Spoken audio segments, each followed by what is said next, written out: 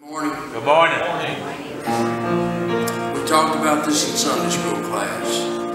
Just try to absorb the message of this song.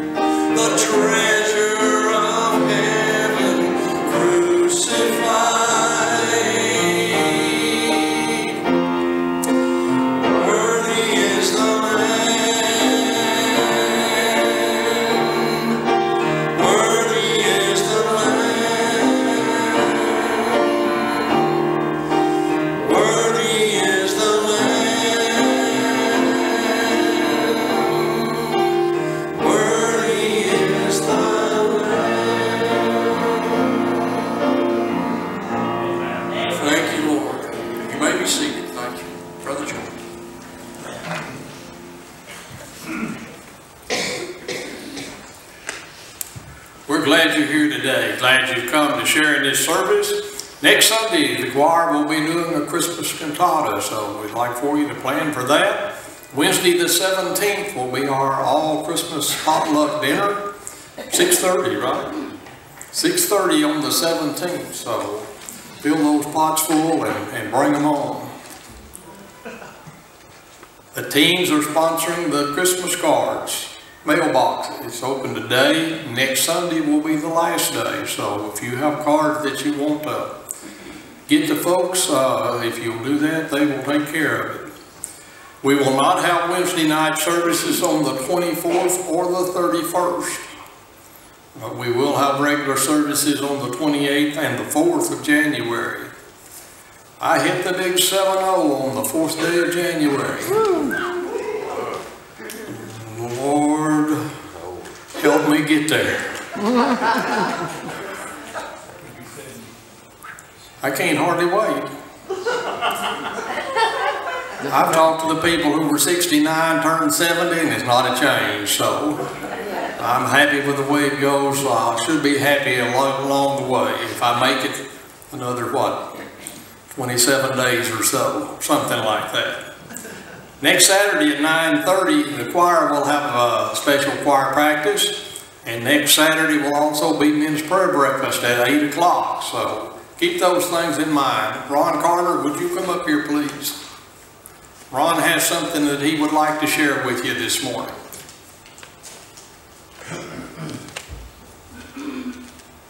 Wednesday after uh, normal Bible study, uh, the district superintendent was here.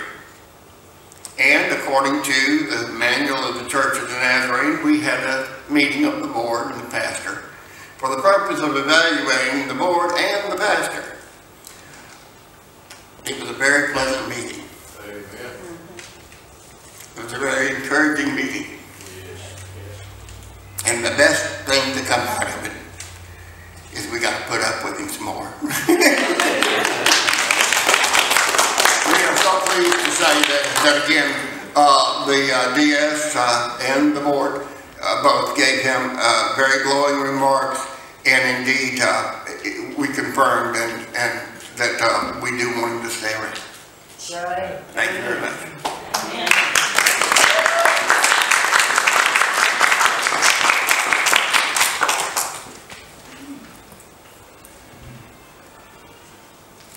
I believe in four more years, we can get all the Yankee out of this man.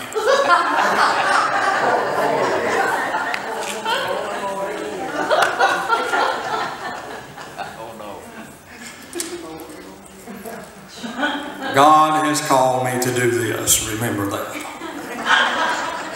Pick on the pastor as much as possible. Folks, what a wonderful time of year Christmas is. We have heard the Christmas story basically all of our lives. But it's something that never gets old. I cannot begin to comprehend the depth of the love that God has for you and I.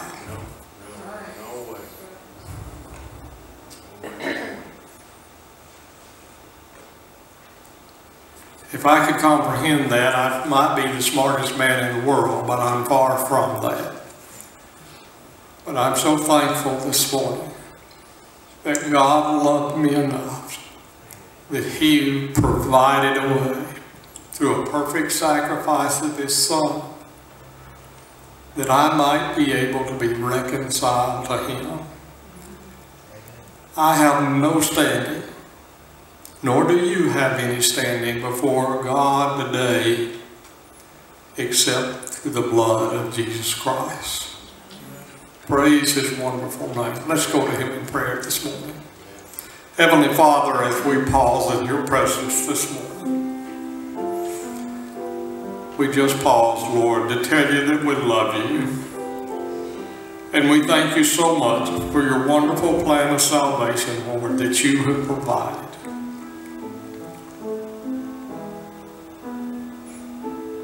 God, we just cannot begin to comprehend that love in our humanness and in our human minds.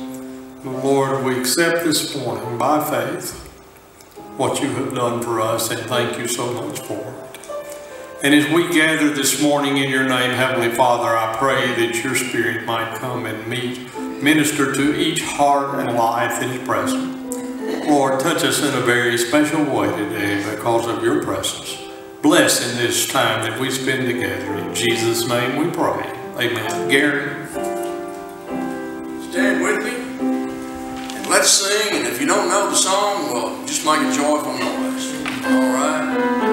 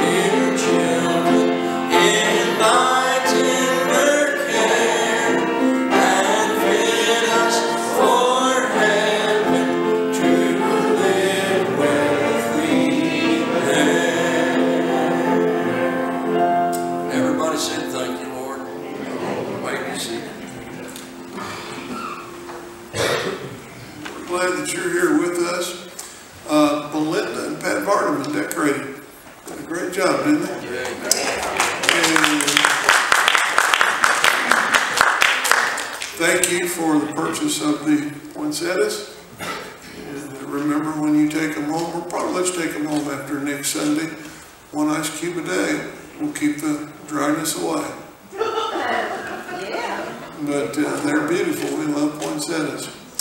If you have not yet paid for your poinsettia, be sure to mark your check poinsettia, so we'll give you credit for it.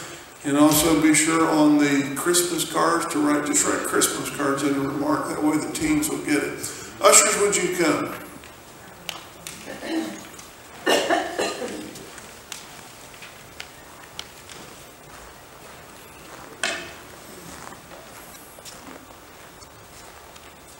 Billy, would you ask the Lord's blessings?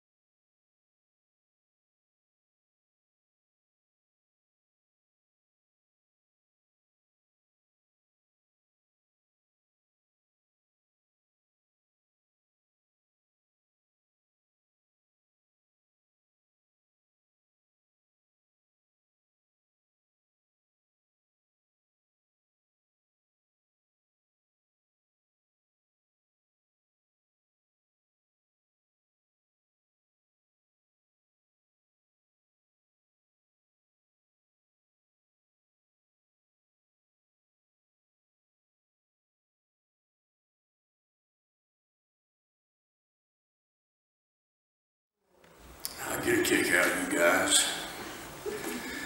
You know, Ron says something or somebody says something, I look at Jeanette and I say, what did he say?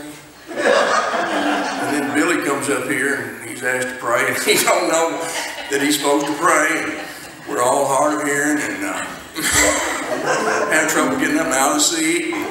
Anyway, stand with me again.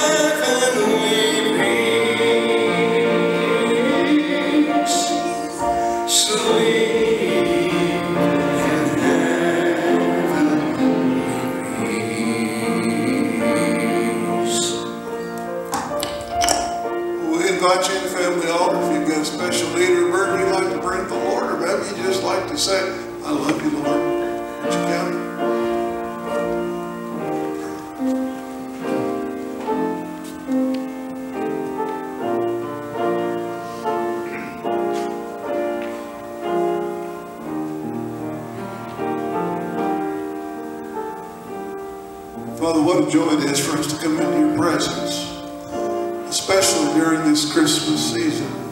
And Lord, sometimes it's so easy for us to get all caught up in the secular part of Christmas, but help us to get in the spiritual part of Christmas. Help us to realize that indeed Jesus is the reason for the season.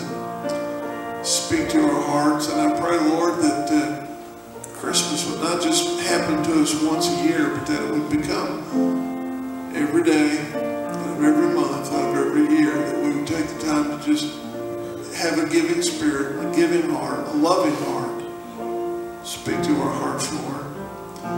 Father, we, we look around, there are many that are not here today, many that are sick, some are traveling. We do lift up Vicky to you and pray, Father, that you just touch her with this back problem that she's having. Thankful for the good news of Bonnie, God.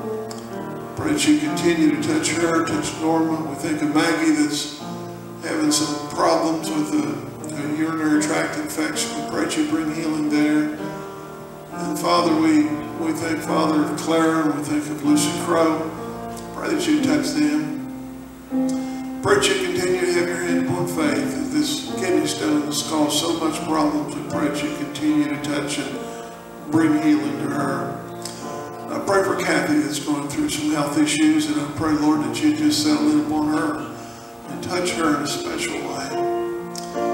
Father, I thank the Sam's two, two sisters, Ruth Ann and Cecil, especially up Cecil to you with his problems that have just uh, been mounting up with this cancer, and I pray that you would just bring some healing to her body, her mind, touch her in a special way.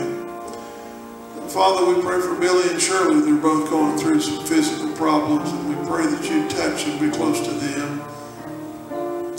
Lord, they need a special touch. We thank Lord George and Carol Lee that would be here if they could, but they're too having some health issues. And I just pray that you would touch them. Be with George as he mends from some foot surgery. Just touch him in a special way. And Lord, undoubtedly there's some that I've forgotten, but how thankful I am that I serve a God who knows everything, who never forgets anything. There's nothing too big that you can't handle, nothing too small that you might overlook. And so collectively as your kids, we give all of our needs to you and ask that you work some miracles in our lives. Father, we pray for our country. Uh, If ever there was a day America needs to be lifted up in prayer, it's today. And we pray for America. I pray, Lord, for our leaders, starting with our president, our Congress, our state, county, and city leaders.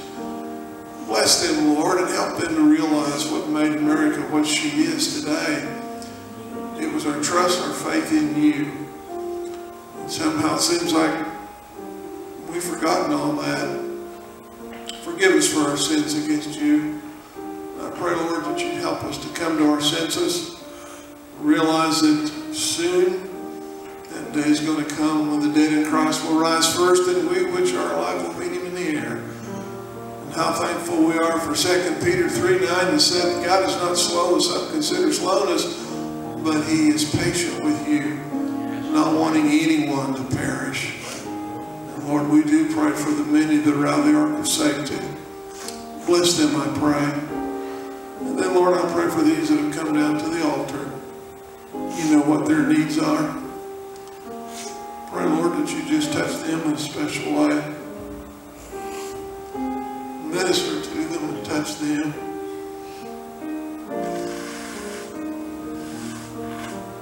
I do pray for the many dads and moms and grandmas and grandpas that have unsaved loved ones that they're lifting up. I pray for them. I pray for their kids and grandkids, Lord, that you just work miracles there. Bless us as a people, a Christian people, that would keep our eyes centered upon you. Bless our church and help us, Lord, to be a blessing to the many that you send our way. I pray for Emily and Paul's kids and the family that are all down sick today. Pray that you just touch them and bring health back to this whole family. Thank you, Lord, for being with us today. Thank you for meeting with us every time we're together in your house. And as we pray each Sunday, we ask now that you walk around our altar and up and down each pew. And would you give each one of us that big daddy's hug that we need? And we'll be careful to give you the praise, the glory, and the honor. For it's in Jesus' name we ask these things. Amen.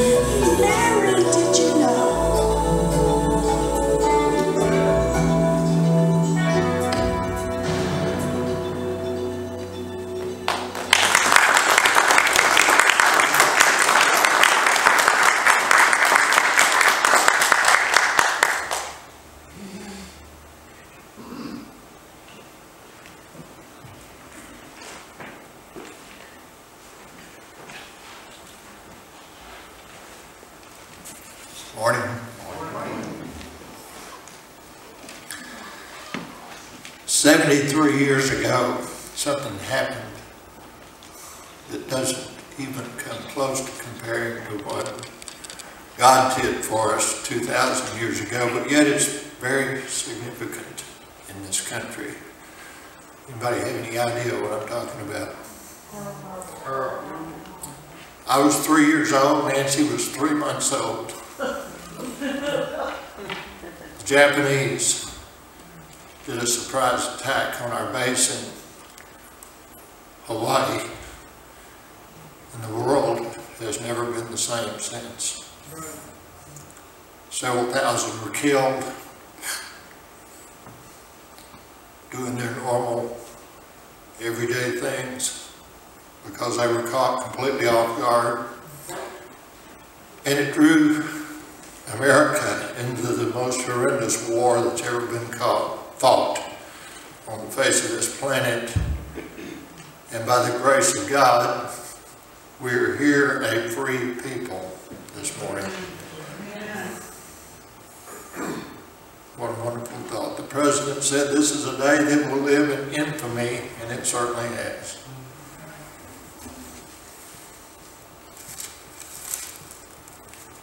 We have a lot to be thankful for, don't we? Would you stand for the reading of God's Word? I'll be reading from the King James Version this morning in the book of Luke, the second chapter, verses 8 through 14. And there were in the same country shepherds abiding in the field, keeping watch over their flock by night. And lo, the angel of the Lord, of the Lord came upon them, and the glory of the Lord shone round about them, and they were sore afraid. And the angel said unto them, Fear not, for behold, I bring you good tidings of great joy, which shall be to all people. For unto you is born this day in the city of David a Savior, which is Christ the Lord. And this shall be a sign unto you. You shall find the babe wrapped in swaddling clothes, lying in a manger. And suddenly there was with the angel a multitude of the heavenly host, praising God and saying, Glory to God in the highest, and on earth peace, goodwill toward men. Let us pray. Heavenly Father, what a privilege it is to be here in this place in one accord, acknowledging and lifting up the wonderful name of Jesus. What a gift to the world. Let us never, ever lose sight of the wonderful gift that was given to us 2,000 years ago. The only thing that gives us hope for tomorrow. We pray that you be with us now as we worship you. Be with our pastors who brings the message. And I just want to say we are so grateful and so thankful that we live in this wonderful country where we have the freedom to come and worship you. In Christ's name we pray. Amen. I told Charles, I said, no, that scripture's in King James. Just doesn't sound like Christmas if we don't do King James, does it? In the, uh, the verses. D.M. Stearns was an old-time evangelist, and one day he was preaching a sermon in Philadelphia, and at the close of the service, a complete stranger came up to him, and here's what he said, I don't like the way you spoke about the cross. I think instead of emphasizing the death of Christ, it would be more appropriate to preach Jesus, the teacher, and the example. Stearns said, well, if I presented Christ in that way, would you be willing to follow him? I certainly would, said the stranger. All right, then, said the preacher. Let's take the first step. He did no sin. Can you claim that for yourself? The man looked kind of confused and said, Why, no. I acknowledge that I sin. And here's what Stern said Then the greatest need that you have is a Savior, not an example. And how true that is. The title of the sermon this morning is Let's Keep Christmas. Isn't it amazing, even every year, but this already, how many attacks have been made on Christmas? It's not appropriate for us to celebrate Christmas because someone might be offended. Well, tough. Yeah. Don't you know? That's what America was founded on. But I think we can all agree that we live in a day of changes. Changes are happening everywhere we go.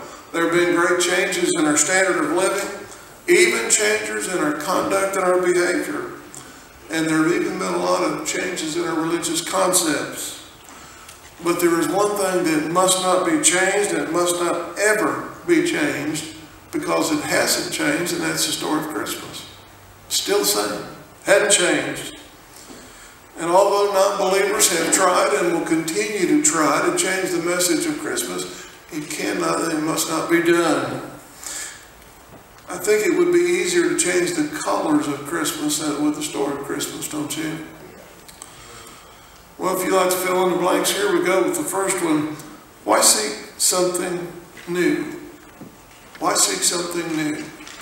My dad, uh, you know, I think I shared with you before. When I was young, I didn't think my dad was real smart.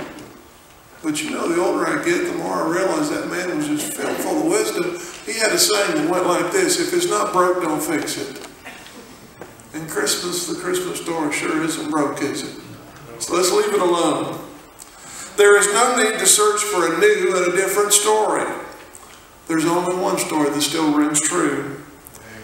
And you know, sad to say, we all feel the pressure of Christmas. And how many times have you been guilty of saying on December 25th at the evening, I'm glad this is over. Isn't it amazing how we can get so pressured by the, the secular side of Christmas? And sometimes we just push out the spiritual side of Christmas. We feel the pressure of Christmas, don't we? Carolina Country Magazine once asked readers to send in some of their most memorable Christmas stories. And Ravonda Starnes told one of the most memorable stories. She said she was raised by her great grandmother in object poverty. And she had never had a Christmas gift, a visit from Santa Claus, or even a stocking. And she never understood why. She said, I did my very best to be good so that Santa would come, but he never did. So I guess I just wasn't worthy. And one, one year as an adult, she shared with her co-workers, she said, you know, I've never had a Christmas gift. Santa Claus has never visited me. And I guess it's just because I'm just not worthy. Or her friend said, well, I want you to put a stocking out outside your front door this year and just see if Santa won't come. And she said, I don't want to do that. She said, no, do it. So she put a stocking out like she was told outside the door. And she stayed up pretty late waiting for some sound of some footsteps, but nothing came. So she went to bed. She woke up on Christmas morning and went to get her stocking and the porch was just full of Christmas gifts wrapped with her name on them and the stocking was full. And it had towels and toiletries and all those kinds of things that you ladies use and need. Just unbelievably how much it was that she had. And later she said, my coworker, that act of kindness that she gave me totally changed my life. And you know, sometimes it's really not so much about the gifts as just saying, hey, I care about you. I love you. How important you are to me. But you know, we wrestle with the problem of having gifts. I don't know how it is with you when your kids were young. A lot of times we would try to figure out what to get our kids and we'd get it for them. Well, that's what they want and that's what they like. And they end up playing with the boxes and put the toys aside, you know. Just like, hello? But why not give the most precious gift of all? Of course, we've got to give some of the secular end of Christmas, the gifts, but why not give some special love? Why not take the time to tell somebody, hey, I love you? Give them a hug. Let them know how important they are to you. You know, there are many other things that cannot be purchased in the store that are just as important as physical gifts or presents, such as kindness, patience, a kind word, a hug. There was a little girl that was dressed as an angel during the Christmas pageant, and they told her to come down the center aisle. And here's what she said Do you want me to walk or fly? And the people said it was almost, there was so much faith in that little girl, we almost thought she could have flown down. May the story of Christmas never, ever leave our minds. Because it's truly a story of miracles. You know, every time I think about Christmas, I'm reminded of the words of the late Peter Marshall. I want to read this so I don't get it wrong, but here's what he would say, or what he said. When Christmas doesn't make your heart swell up until it nearly bursts and fills your eyes with tears and makes you all soft and warm on the inside, then you will know that something inside of you is dead. And I thought how true that is. And so it's so important that we don't get all caught up in the secular end of Christmas and let it pull us down. But try to think more about that s- spiritual part of Christmas. And then the next blank, Christmas is often crowded out. It's often crowded out.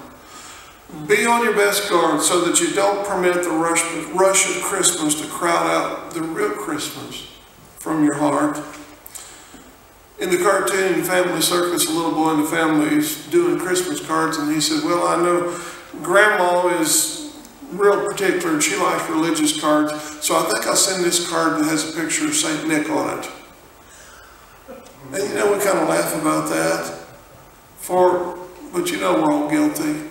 We take a lot of pain to take care of the secular side of Christmas, but we forget the spiritual side so much. Last December, Cynthia Crossen, who was a reporter for the Wall Street Journal, interviewed some Christmas shoppers at a mall, and she asked them, well, what are you buying? And why are you buying? And here's what several of them said. One said, I bought two scarves, one to give away and one to keep. But she couldn't decide which color to give away, so she thinks she'd just keep both of them. Another one said, well, it's one for men, one for them, one for men, one for them. Another lady said, well, I, up to this point, I've bought 13 present gifts. I'm going to give two away and keep 11. And you know, isn't it amazing to think in this season of giving that for so many of us it becomes a season of giving? Again, we kind of forget what it's all about, don't we? And then you run into people during the Christmas season that say, well, I just can't feel the Christmas spirit. Have you ever heard anybody say that? Oh, I just can't feel the Christmas spirit. Well, the solution to this complaint, tell them just read the Christmas story over and over and over, and maybe you'll change the way you think.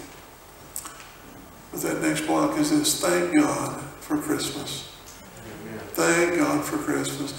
I'm so thankful that as unworthy as I am, God loved me enough that He allowed His one and only Son to come to the earth to die for me and for you. Thank God for Christmas. You say I don't have anything to be thankful for? What Well, you do now. Thank God for Christmas. Thank God for Christmas. You know, I think sometimes it would be great if Christmas lasted throughout the entire year, not the secular Christmas, spiritual Christmas. The time when you and I can have that good spirit. Have you ever noticed, other than when you're in the mall or at Walmart around Christmas season, when there's not that kind of a stress on, most people are just a little bit happier than normal. You hear a lot of Merry Christmases still. We were, I'm trying to think where we were. We were in some store a week or so ago where they were playing Christmas carols. You know, Cracker Barrel, they, they've learned their lesson. They do that all the time. Merry Christmas and all that. But it's kind of nice to go somewhere where you do that. And you hear people say, Merry Christmas to you. Because it's really, you know, and how true it is. Jesus is the reason for the season, isn't he? It's all about him. It's not about gifts and giving. It's about Jesus. But you know, on Christmas, I think the whole world becomes a better place to live, don't you? Just amazing how kinder some people are. It wouldn't be nice if we could be that way all the time? Miracles happen because of the love that fills the hearts of people. And it's a wonderful time for family togetherness and happiness. Christmas usually is a good time when you're with us. Christmas really, the secular side of it is not so much faith all. We don't really, we don't care whether they give us any gifts or not with the family. We just want to be with the family. And uh, told you last week, they'll say to me, well, Pat, Pat Grandpa, what do you want? Uh, I don't want anything. Just give me some underwear, you know. Underwear? But you know, when you when you get when you become a senior adult, you don't really need anything. That's right. Amen. You don't. And Christmas is all about giving to others. Amen. Isn't that what God did for us? That's what He gave His one and only Son for us. But it's a wonderful time of family togetherness and happiness. And traditions such as decorating the tree can be very meaningful. I hope you have some Christmas traditions that you passed on to your kids. I think I shared with you a couple years ago, one tradition that we always did when our kids were young was, usually it was Faith with Santa Claus and she'd put the, we had a red Santa Claus hat on. Do you know that my son and my daughter have carried that on when they pass out the gifts, they have the hat on? If they don't forget it, but that's, that's tradition. And, uh, you know, there are a lot of people that say, well, let's, let's open our gifts on, gifts on Christmas Eve. Why? Tradition was we always did it on Christmas Day. And of course, nowadays with kids, they're so excited. We would sometimes will say, okay, you only want one gift on Christmas Eve. Mm-hmm. I've known some people that the week of Christmas, they only want one gift tonight. And I say, well, if you do that, you're not going to have anything to open up on Christmas Day. But it's so important to have some traditions for your families. And the fun of hidden presents, forbidden closets, and bulging overcoats enhances the anticipation, doesn't it? You know, I, I shared, I know I shared with you a couple years ago, Faith and I in Colorado, we, we didn't have much, but what we did get for the kids, we were, it was a struggle to come up with the money. We were pleased that we could do it, but they never seemed to be surprised. I never understood that. And then when my kids became adults, Danielle kind of let the air out of the balloon. She said, well, Dad, when you and Mom would go to the store or something, Brian would get his knife out and we'd open all the packages up, and see what they were, and then wrap them back up again. I said, well, I wonder why you was never surprised. that was their tradition. And I've, that's one I haven't told their children yet. Yeah. You know, uh, with Danielle especially, I love to tell stories on her, and they'll say, tell us some mom stories. And I'll start telling one, and Danielle go,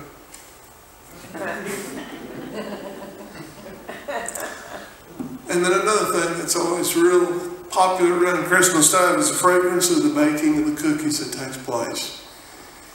Always helps make the house smell better, doesn't it? the melodic strains of the carols are restful and they're inspiring. And you know, before you know it, Christmas morning will soon arrive. It'll be here before you know it. Uh, George is talking about that magic seven zero number and how fast it comes. I'm amazed how fast time goes.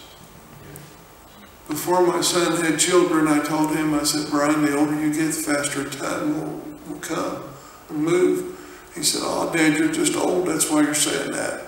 Well, after he had his kids, he said, Dad, I need to apologize to you. I said, why? He said, you were right. I said, about what?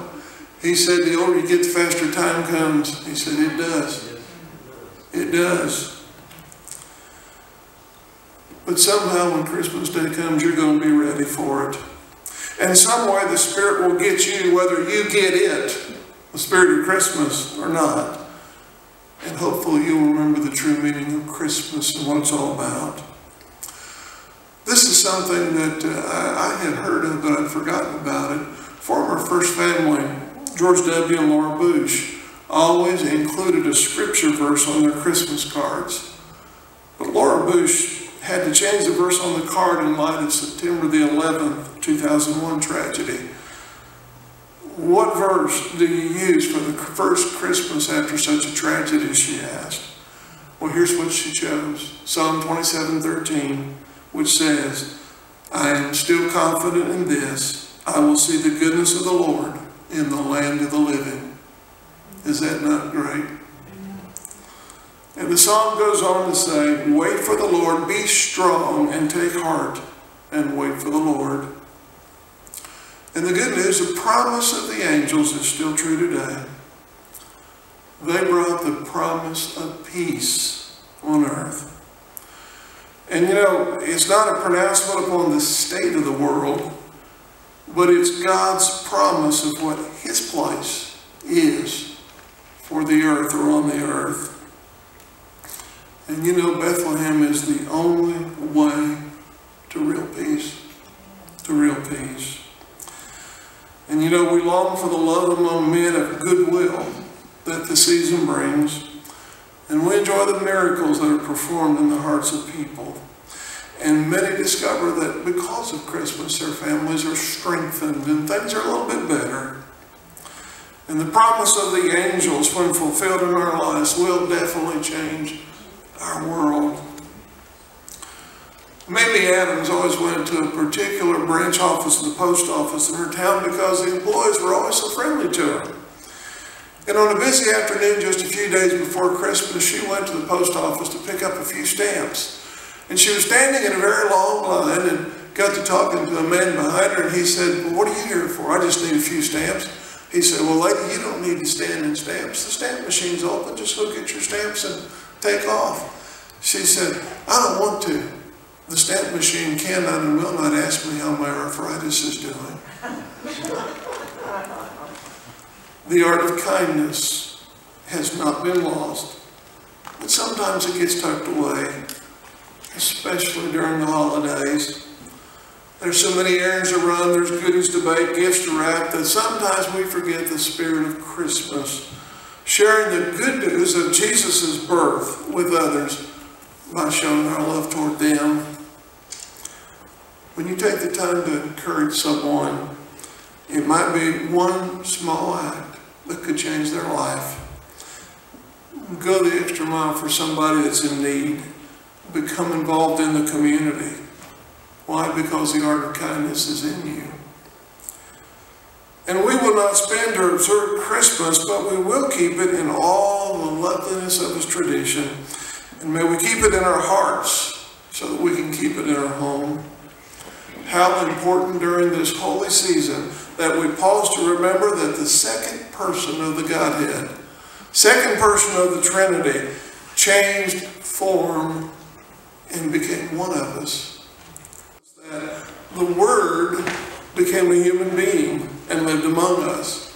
We saw His glory, the glory that belongs to the only Son of the Father, and He was full of grace and truth.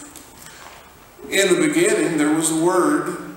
The Word was with God, and the Word was God. He was with God in the beginning. All things were made by Him, and nothing was made without Him.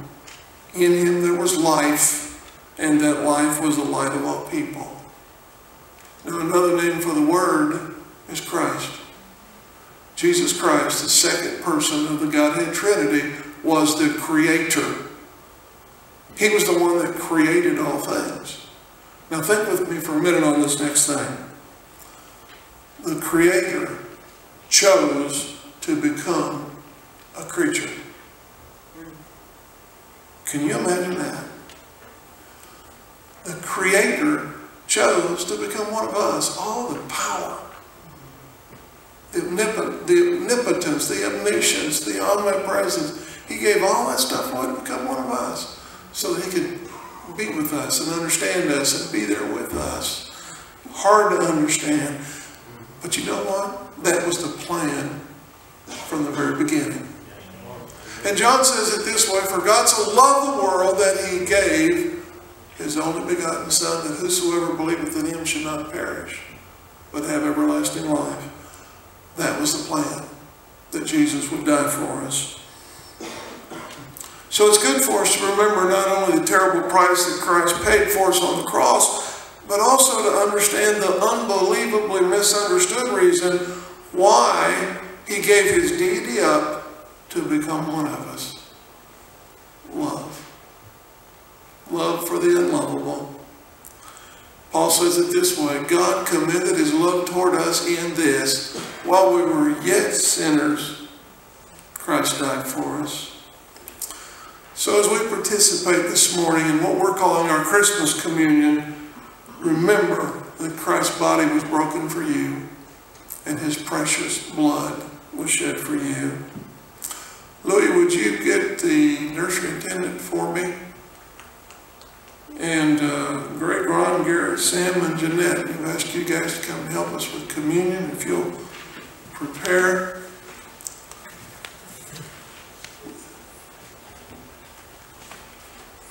Go ahead.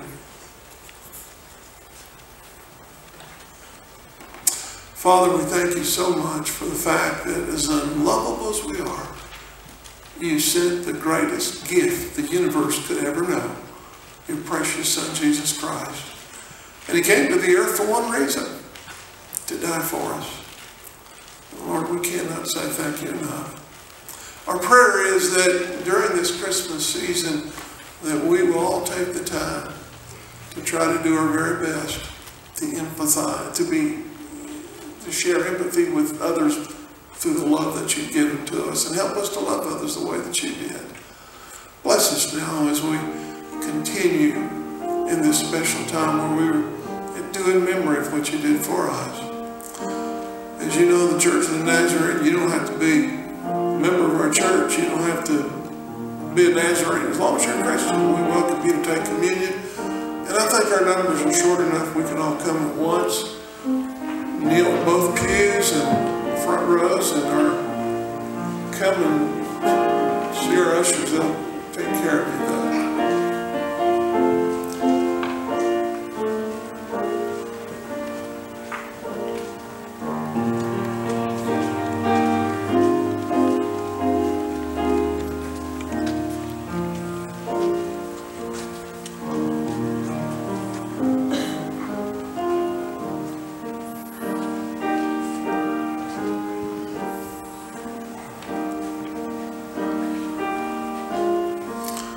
The Lord himself ordained this holy sacrament.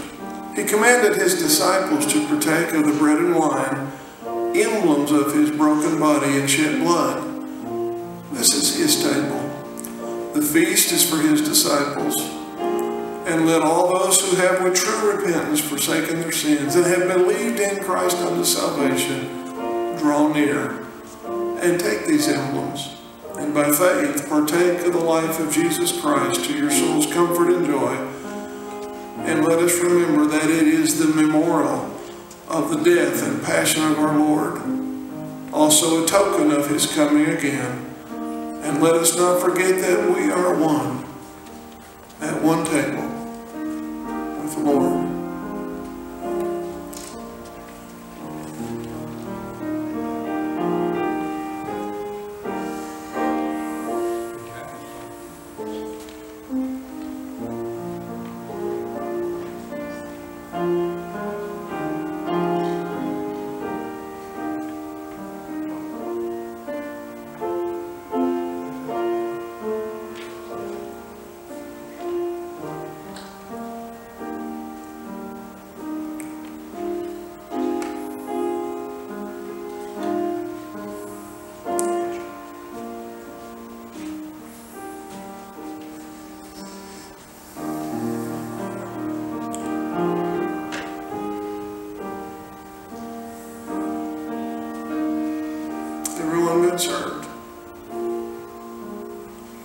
Body of our Lord Jesus Christ, which was broken for you, preserve you blameless unto everlasting life. Take and eat this in remembrance of what Christ did for us.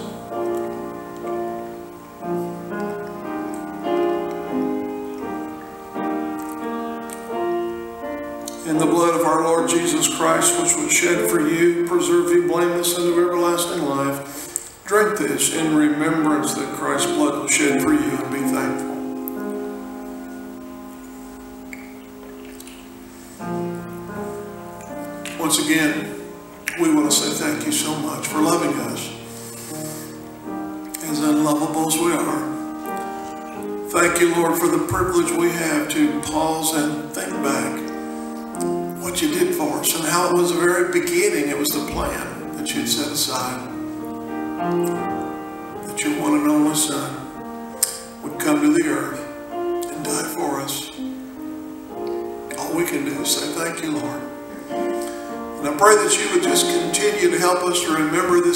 time of communion.